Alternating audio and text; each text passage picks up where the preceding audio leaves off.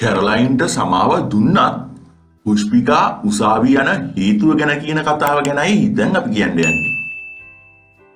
ලෝක විවාහක රූරජන කැරොලයින් ජූරි විසින් තමන්ට කුණුහරපයෙන් බැනවැදුණු බව ශ්‍රී ලංකා විවාහක රූරජන වූ පුෂ්පිකාද සිල්වා මහත්මිය සඳහන් කරනවා.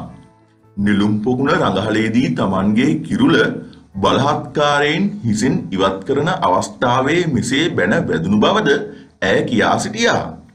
අන්තර්ජාල නාලිකාවක් සමගින් සාකච්ඡාවකට එක්වෙමින් තමයි ඇය මෙම අදහස් පළ කළේ. කොහොම හරි මේ අතර අදාළ සිදුවීම සම්බන්ධයෙන් සිදු කරන ලද පැමිණිල්ල අනුව කුරුඳුවත්ත පොලිසිය විසින් අත්තරංගුවට ගන්නා ලද කැරලයින් ජූරි සහ චූලා පත්මේන්ද්‍ර පොලිස් ඇප මත නිදහස් කර තිබෙනවා. නමුත් ඔවුන්ට විරුද්ධව අධිකරණ ක්‍රියාමාර්ග ගැනීමට පුෂ්පිකාද සිල්වා තීන්දු කර තිබෙනවා. පුෂ්පිකාද සිල්වා මාධ්‍ය වෙත සඳහන් කර සිටියේ ප්‍රසිද්ධ මාධ්‍ය හමුවක් පවත්වා තමන්ගෙන් සමාව ඉල්ලන්ඩ කියලයි.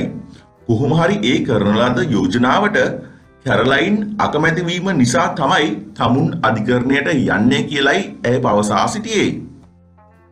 හොඳයි ඉතින් කොහොම හරි මේ උන සිදුවීමේදී කැරලයින් ප්‍රසිද්ධියේ සමාව ඉල්ලිය යුතුද නැද්ද කියලා ඔයාලගේ අදහසත් කමෙන්ට් එකක් දාගෙනම යන්න.